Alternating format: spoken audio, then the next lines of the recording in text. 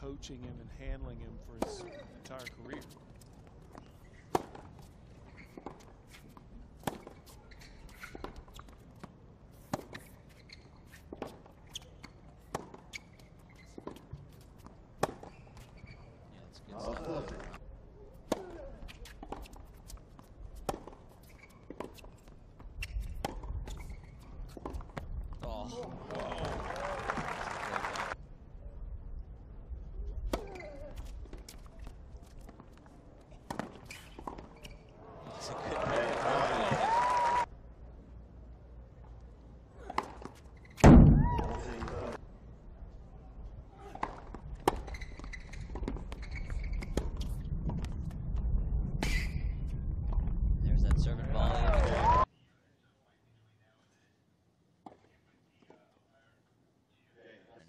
Shows.